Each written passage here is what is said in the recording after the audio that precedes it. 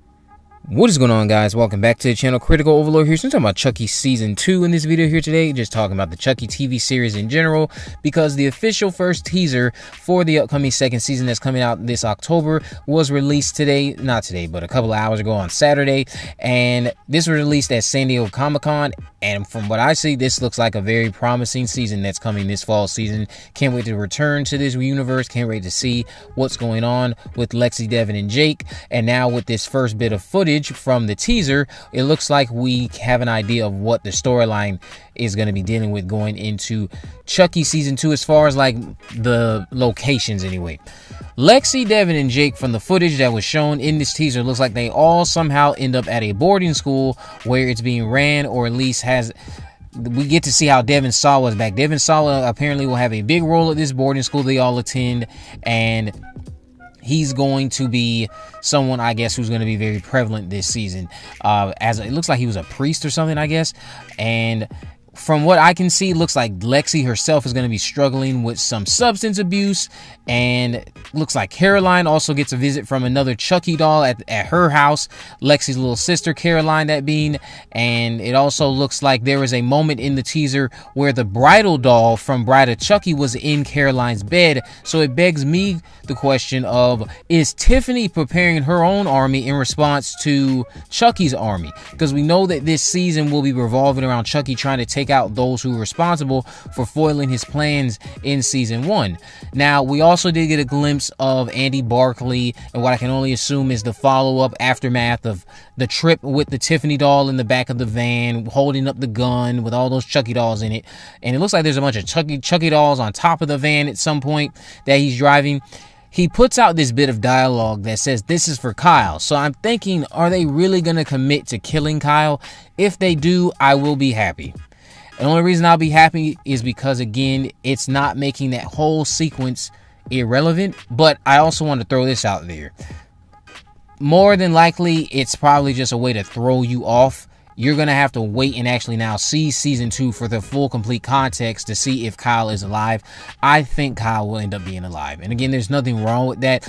I would just prefer somebody died from that fire. And honestly, at this stage, with this being about the new group of characters, Lexi, Devon, and Jake, it should be Kyle.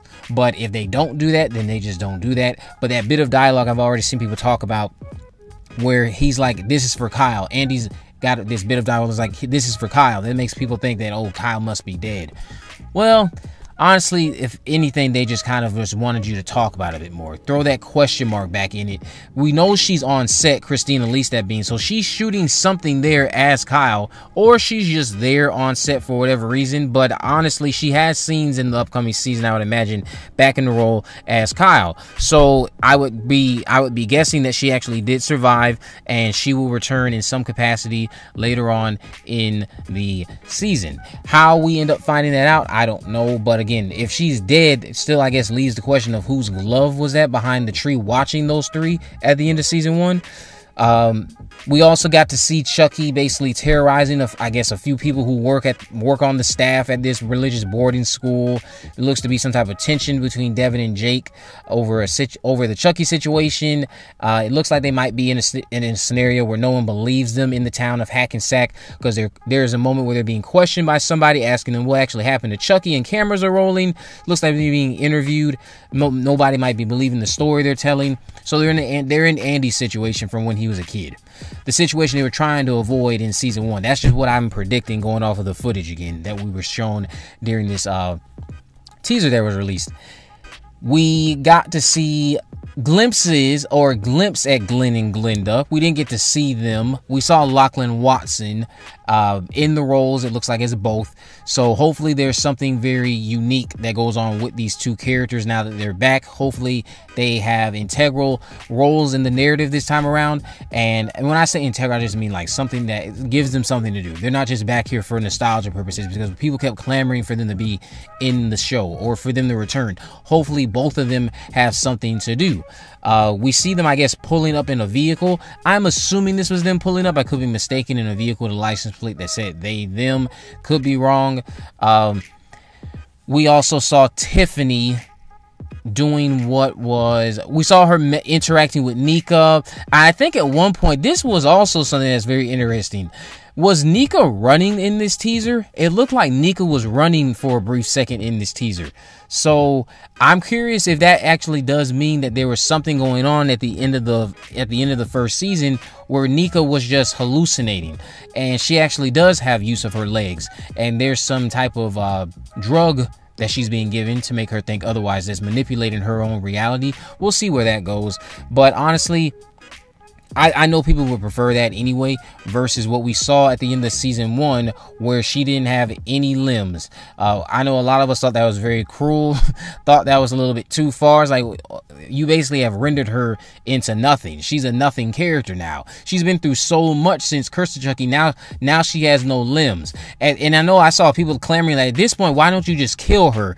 But there's Don Mancini said there's something else in store for Nica. I really truly think, and going off of some other dialogue I think Nica is in the tra- teaser trailer saying she wants Tiffany to get what's coming to her, while Tiffany is simultaneously or being shown like cutting someone's throat, slitting someone's throat while this dialogue is being said. So Nica's got some type of revenge arc that's going to happen this time around going into season two. Can't wait to see that. I'm curious if she'll end up teaming up with Chucky in some capacity, but I can swear I saw her running in the teaser. I can't be the only one that saw that. She was running in this teaser. Uh, we got to see the last shot was probably the most hilarious. Chucky gives a nun a heart attack. I guess that might be a callback to Child's Play 3. Uh, and then he says, Hi, I'm Chucky. Wanna pray?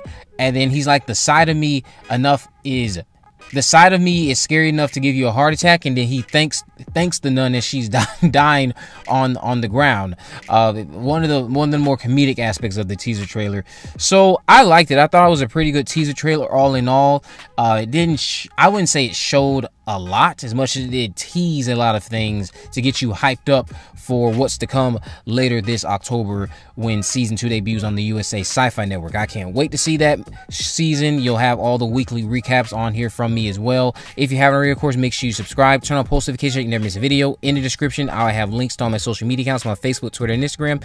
You can message me there, of course, to let me know if there's any movies, news, or reviews you'd like me to cover in the future. And with all that in mind, guys, I will see you in the next video.